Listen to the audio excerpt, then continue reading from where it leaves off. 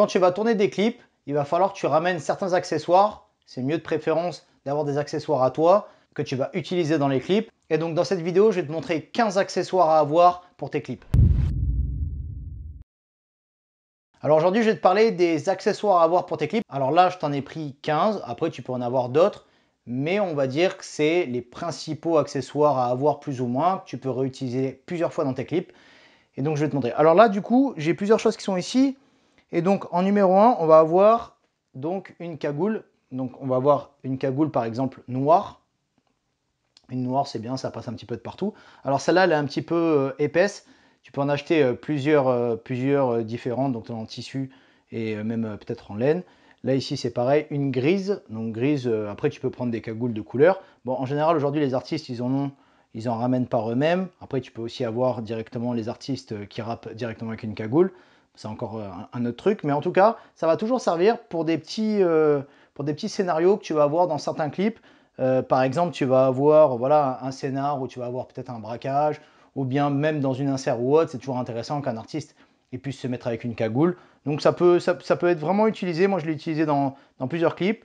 Et donc, donc voilà, je pense que j'en rachèterai quelques-unes, peut-être une rouge ou une de couleur, peut-être blanche ou un truc comme ça.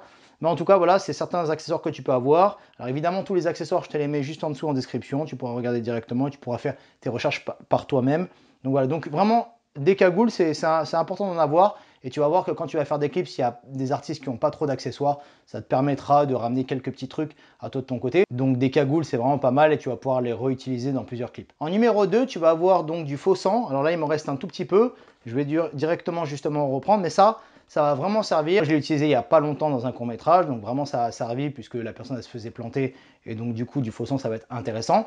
Je l'ai utilisé dans certains autres clips où il va avoir une baston dans un clip ou bien le mec il se prend un, coup de batte ou autre chose. Ça va toujours servir vraiment pour pas mal de choses, un, tir avec un gun ou autre.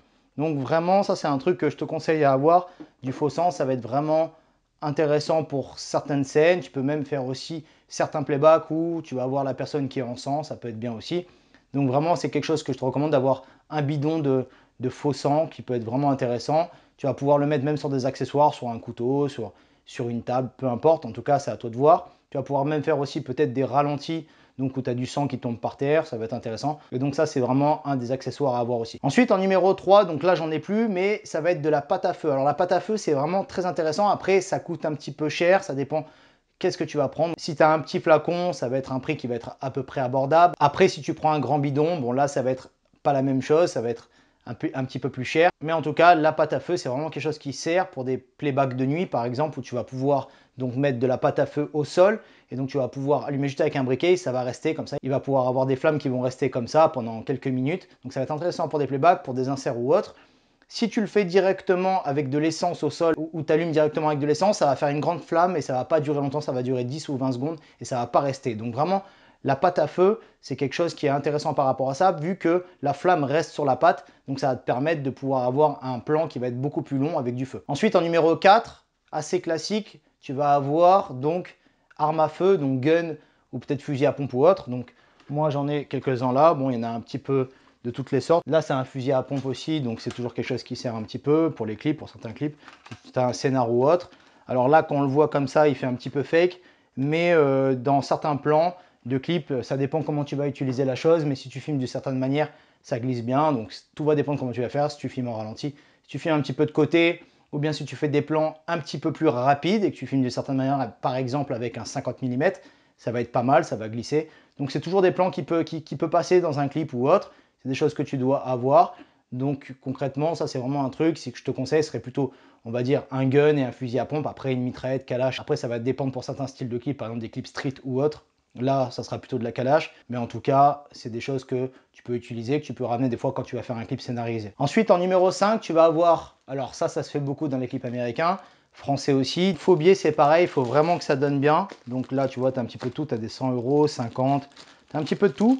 Alors ceux-là, je les trouve pas super bien faits parce qu'on voit euh, certaines choses dessus, donc c'est pas super ouf. Mais en tout cas, ça peut servir sur des plans un petit peu loin où tu vas pouvoir avoir une personne qui va compter certains billets. Après, de préférence, certains artistes des fois ont des vrais, donc du coup c'est quand même mieux de le faire avec des vrais. Voilà, là ça va être plutôt sur des plans où tu vas avoir une valise qui va s'ouvrir, où tu vois un petit peu des billets. Après voilà, ils sont assez neufs, donc il faut quand même un peu les froisser, que ça fasse un petit peu réel. Mais en tout cas, ça va te servir sur certains plans, certains clips où il y a des gens des fois qui jettent des billets. Et donc c'est à ce moment-là où on ralentit, ça peut être intéressant. Donc c'est une chose à avoir aussi. Tu vas voir, ça se trouve un petit peu de partout. En numéro 6, tu vas avoir un masque. Alors, c'est pas un masque euh, pour le coronavirus, mais ça va être plutôt certains types de masques, donc vraiment plusieurs styles de masques. Donc tu vas avoir des masques comme ça. Alors des fois, les artistes, ils en ramènent. Tu vas avoir des masques un petit peu de la même façon, mais avec de la lumière à l'intérieur. Donc ça, on le voit par exemple dans le film La Purge, par exemple ou bien des masques un petit peu comme ça, mais en métal. Alors ça, c'est peut-être un petit peu plus euh, un masque comme il y a dans, Mad Max ou autre. Mais en tout cas, voilà, ce certain type de masque-là va servir pour certains types de, clips, des délires un petit peu, un petit peu des délires dark ou autre, ça va te servir. Moi, je l'ai utilisé quelques fois. Donc, par exemple, le masque avec les, les petits néons dessus, c'est pas mal. Dans la nuit, tu peux faire des beaux petits plans et tout ça. Plusieurs styles de masques peut être vraiment intéressant, puisque des fois, tu vas te retrouver sur des clips où il n'y a pas grand-chose il va avoir un lieu qui est pas terrible et tout ça, donc tu vas l'éclairer d'une certaine manière. Et donc là, les masques, ça peut, ça peut faire quelque chose, et tu vas toujours pouvoir freestyler avec, avec des accessoires comme ça que tu vas pouvoir ramener toi de ton côté. Ensuite, en numéro 7, pour aller toujours dans le sens des armes, on va dire peut-être un couteau. Alors là, bon, moi, c'est pas vraiment un couteau, c'est plutôt une machette, mais en gros, ça va être intéressant pour certains types de clips aussi. Euh, le mieux, c'est quand même de prendre un petit couteau qui soit un peu réaliste. Après, tu peux avoir des gros couteaux, mais bon, tout va dépendre des idées. Mais en tout cas, dans la catégorie des armes, c'est ce qui peut être pas mal. Un couteau, tu vas toujours trouver des choses à faire avec. Ça peut être bien, tu peux développer en rapport avec ça. D'ailleurs, ce que tu devrais faire, c'est regarder qu'est-ce qu'il y a comme style d'arme et des fois tu vas voir qu'en fonction des styles d'armes ça va te donner des idées. Par exemple un point américain si tu en as un. Donc par rapport à cet accessoire là de clip, bah, c'est comme ça que ça va te développer des fois des idées. Après en numéro 8 tu vas avoir donc assez classique dans les clips, ça se fait beaucoup dans les scénarios un petit peu de délire de mafia et tout ça. Après, bon, je trouve ça un petit peu cliché, mais une valise, ça va être toujours bien. Alors là, j'en ai pas directement, mais une valise assez classique, donc vraiment comme il peut avoir les hommes d'affaires et tout ça. Donc ça, ça peut être bien parce que des fois, tu vas faire des plans sur une table et donc la personne, va ouvrir la valise, ça peut être bien. Moi, je l'avais utilisé dans le clip de SCH Million à la fin, donc quand on voit le doigt à l'intérieur dans la valise. Donc c'est un truc qui peut être bien, que tu peux avoir. Donc dans une valise, tu peux toujours mettre des choses, tu peux toujours mettre un crâne, euh, certaines choses comme ça. Et donc ça peut être intéressant de pouvoir utiliser cette valise-là. Tu vas pouvoir mettre peut-être des faux billets, tu vas pouvoir mettre autre chose, une arme, autre. En tout cas, c'est quelque chose qui peut être utilisé. Après, ça fait un petit peu cliché, je trouve moi, ça s'est fait beaucoup dans des clips. Mais c'est quelque chose que tu peux toujours utiliser. Ensuite, en numéro 9, donc qui va avec la valise, tu peux avoir donc des cartes pour faire du poker. Donc ça, c'est pareil aussi, puisqu'il y a pas mal de clips qui se font comme ça en général. Donc tu vas avoir des gars qui vont être posés en bas d'une tour ou dans une cave ou autre. Et donc, ça va jouer au poker ou ça peut jouer à autre chose hein, d'ailleurs mais ça peut être bien que tu aies toujours des cartes un petit peu comme ça, parce que tu vas pouvoir faire des inserts des fois dans un clip. Par exemple, si tu as un clip assez simple où la personne, c'est un clip en mode freestyle, où il y a un petit peu de lumière, il fait ses playbacks, eh ben, peut-être que pendant les playbacks, tu peux mettre des inserts de mecs qui jouent au poker en insert, ça peut être toujours bien, ça peut combler un petit peu, ça peut casser un peu les playbacks. Donc si vraiment il n'y a rien, il n'y a pas d'accessoires, bah, des cartes c'est toujours bien à avoir. Après c'est vu et revu, mais c'est quand même quelque chose que tu peux avoir. Donc vraiment comme je te dis, c'est vraiment des accessoires de base. Après si tu veux développer sur d'autres idées de cartes, il va en avoir un paquet que tu vas pouvoir voir sur internet. Mais en tout cas, si tu peux avoir des cartes de poker, ça peut être intéressant. Numéro 10, assez classique, donc des bougies, donc vraiment des bougies. Ce que tu fais, c'est que tu achètes vraiment un lot où il y a beaucoup de bougies, une trentaine, une vingtaine. Et en fait, ça, ça va être vraiment intéressant par contre pour certains playbacks ou certaines scènes où tu vas voir une personne qui va être dans une baignoire, tu vas mettre des bougies autour. Donc ça, ça peut être bien pour des beaux clips avec, par exemple, une meuf dans une baignoire ou autre, ça peut être vraiment bien. Pareil, tu peux mettre des bougies autour d'une piscine, ou bien tu peux carrément mettre aussi des bougies dans une, dans une maison, dans un appart, peut-être même des fois dans un château abandonné ou autre. Donc ça c'est intéressant, il faut toujours avoir des bougies. Alors tu vas avoir certains types de bougies, tu vas avoir des petites, tu vas avoir des grosses, tout va dépendre du délire. Des grosses, ça peut être très intéressant d'ailleurs sur une table, par exemple avec une nappe, avec un repas, et donc tu vas mettre des grandes bougies plus, plus longues. Donc si tu peux, achète plusieurs types de bougies. Ce qui est intéressant, c'est qu'en plus les bougies, ça coûte vraiment pas cher. Donc ça, c'est vraiment des choses intéressantes. Donc si tu peux en avoir deux types de bougies, donc par exemple des longues et des petites, et en quantité, donc ça c'est bien parce que tu peux les réutiliser plusieurs fois.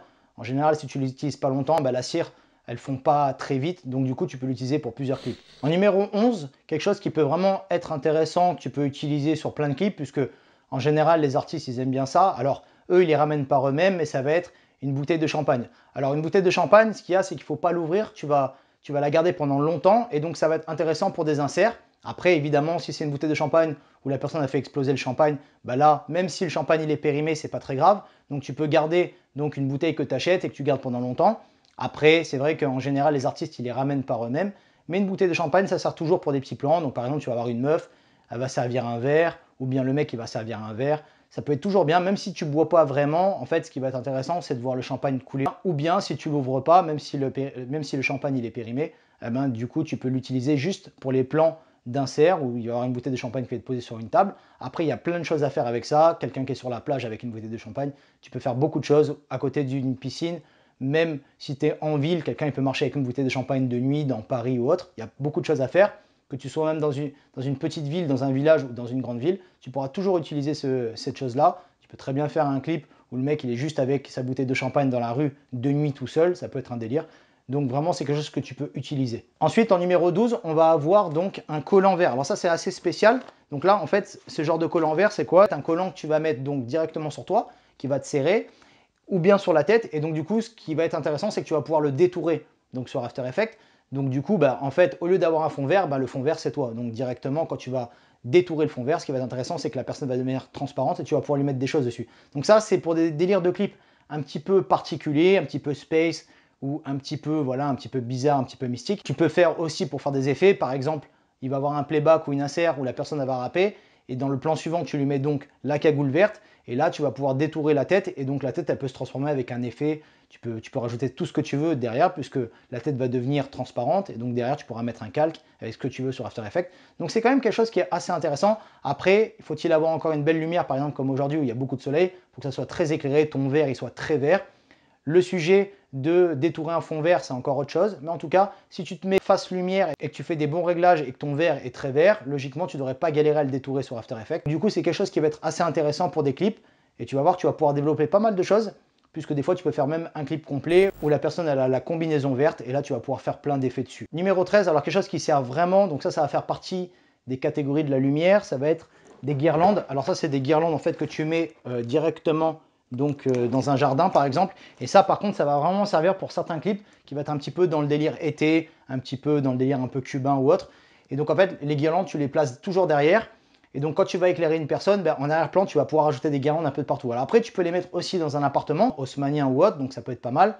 Si tu as juste un plan par exemple, ou tu as juste un canapé euh, voilà, qui est simple avec un mur noir ou un mur blanc, peu importe, tu vas rajouter les guirlandes et ça va faire quelque chose quand même. Donc après, il y a plusieurs types de guirlandes. Tu vas avoir des guirlandes avec de couleurs un petit peu plus chaudes, donc orange. Celles-là, elles sont assez blanches, mais tu peux avoir aussi des guirlandes de couleurs. Et donc ça, c'est vraiment quelque chose qui est pas mal parce que si tu mets un petit peu de machine à fumer, que tu éclaires un petit peu, que tu rajoutes des guirlandes, bah, tout de suite, ça va te faire un décor qui va changer, alors qu'en fait, tu vas avoir un décor neutre. Donc c'est vraiment quelque chose à avoir. Des fois, ça peut même te rééclairer, une personne. Par exemple, si tu fais un clip dans une cave ou autre, ah bah, tu peux rajouter les guirlandes et ça peut carrément faire un délire. Numéro 14, donc pareil dans la catégorie des armes, une batte, ça peut être toujours très intéressant. Moi j'avais utilisé sur un clip de 7 gecko. Donc nous après on a rajouté du barbelé autour, c'était un petit peu chiant mais en tout cas tu peux toujours customiser une batte de baseball. Ça peut compléter avec le faux sang, donc ça peut être intéressant avec le faux sang de pouvoir utiliser justement cette batte de baseball. Donc ça c'est un truc qui va toujours servir. Par exemple si tu fais un clip où il y a plusieurs personnes, ça peut être intéressant que ce soit plusieurs avec des battes de baseball, donc ça va, ça va dépendre vraiment du délire. Et puis aussi même un artiste qui fait un playback avec, ça passe toujours. Et pour finir numéro 15, alors ça c'est pas quelque chose que tu peux tout le temps avoir, mais si tu trouves une voiture abandonnée, ça peut être bien un endroit. Alors de préférence, si tu peux avoir les moyens, si tu as une voiture que tu achètes qui est un peu une vieille voiture, ça peut être intéressant. Acheter une voiture par exemple à 3, 300 ou 400 euros, même une voiture qui roule pas très bien, en fait ça va servir pour pouvoir rajouter de la pâte à feu dessus, donc pour faire un semblant de feu. Alors après, avec des précautions, il faut faire super attention pour pas que ça prenne feu. Donc vraiment, c'est quelque chose qu'il faut faire attention. Il faut pas faire n'importe quoi, faut pas le faire dans une forêt ou autre.